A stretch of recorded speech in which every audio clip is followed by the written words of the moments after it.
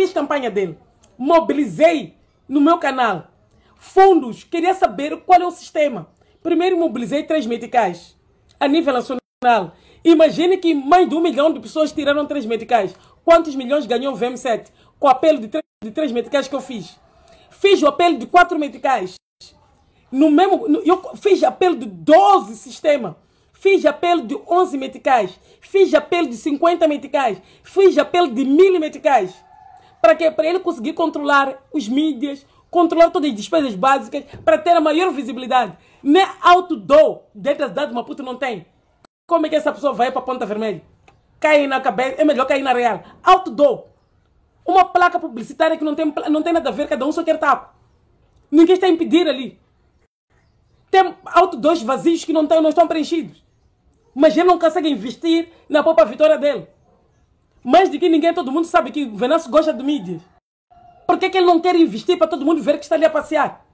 É porque ele já sabe que já perdeu. Simplesmente é entreter a vocês para dizer que houve fraude para vos pôr a marchar.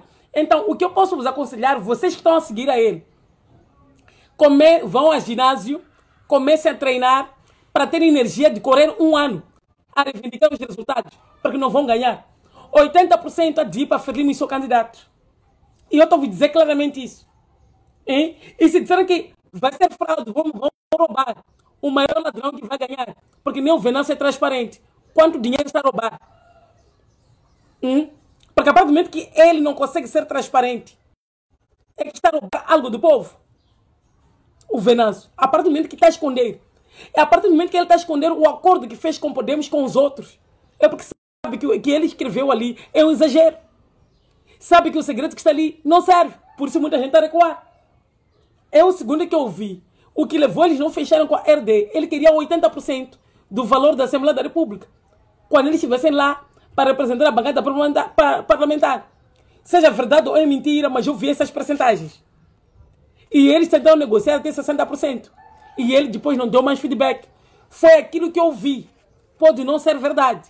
Então, já eu não sei qual foi o acordo financeiro que o VM fez com. Se é uma coisa limpa, uma pessoa que quer dividir o bem comum com todos, ele pode demonstrar.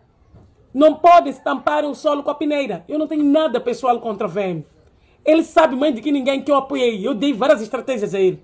Quando eu estava em Gana, eu disse ao Venaço que ele tinha que se aliar com o MDM, porque tem um assento parlamentar.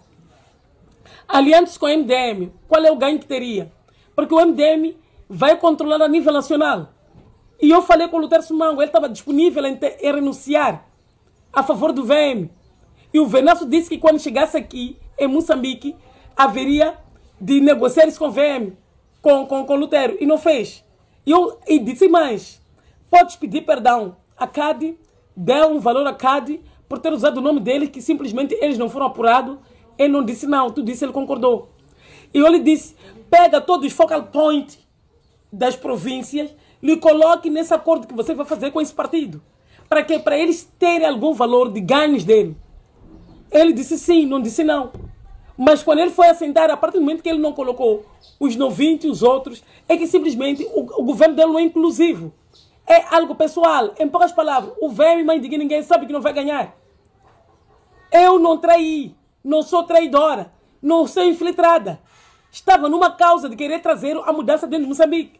E também no meio dessa luta, eu percebi que o moçambicano não é pessoa para você lutar pela causa dele. O moçambicano não tem posição. A partir do momento que eu vi resistência na transparência do povo, não do Venâncio, mas percebi que não é o povo que tem que lutar por ele. Estou para ser sincero. Aqui salve quem puder. Não é o povo que tem que determinar o que eu devo fazer. Quem quiser seguir o povo vai cair na ratoeira. Quem quiser seguir o povo vai se dar mal. O povo hoje te elogia, amanhã está tirar com pedra. Então não é o povo que eu tenho que seguir. Eu tenho que seguir aquilo que eu acho que é melhor para mim. E que é melhor para minha província, que é melhor para minha nação, que é melhor para o meu distrito. Eu já disse algumas coisas do meu distrito, não percam tempo. Se quiser, continue. Não lhes obrigo. Mas eu já saltei do barco não vou apoiar. Estou aqui abertamente a renunciar abertamente o meu apoio hum, ao Venâncio Mulhani. Estou a renunciar. Estou a renunciar naturalmente o meu apoio a ele. Não lhe usei, não fintei. E como haver resistência, pode entrar no meu canal. Mudei tudo.